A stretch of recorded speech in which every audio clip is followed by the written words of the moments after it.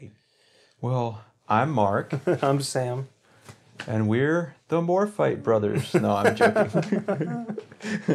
Someone's gonna call us that at some point, and then they're not gonna stop, and everyone's just gonna be like, "Aren't you the Morphite brothers?" And we're like, Oh, "No, no. that's not what it is." Did I just create some sort of self fulfilling prophecy there? They're gonna. I, well, I thought about that before. Of like, since we're all brothers, somebody's gonna do that. It's it's everything. I mean, part of it too that we're we complicated things because we you know that's how we are is uh, doing the three camera setup we've got.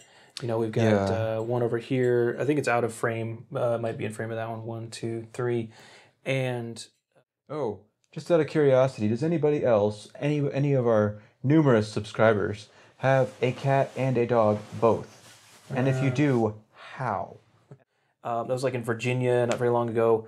Um, they had those. They were wanting to pass those regulations about. Uh, I can't remember exactly what the regulation was, but it was basically curtailing or cutting back on the the type of assault assault weapons you could own or whatever it was. Yeah. And what's it's funny because then everybody took to the streets. Like they all, you know, went- they had all these rallies and everything, and they showed up and they basically said, "No, we as the people are saying no, that's not acceptable. This is what we actually want." And Very they- respectfully done.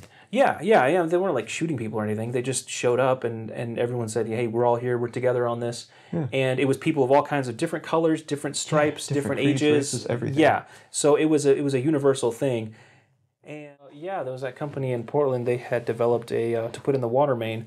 And what's cool is they were doing it on both intake and outflow.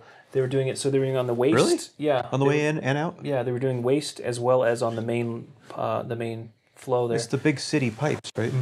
And uh, it's a big pipe. It's got a little turbine inside that gets turned by the water that's moving anyways. Minimal resistance. And yeah, so it's and so that's that's doing is creating hydroelectric energy, and it's on all the time, or at least you know whenever the water's flowing. And otherwise, that water's flowing, but there's potential energy there that we're not using for anything. It's lost. Finding out recently the coconut is quite a versatile thing. oh yeah.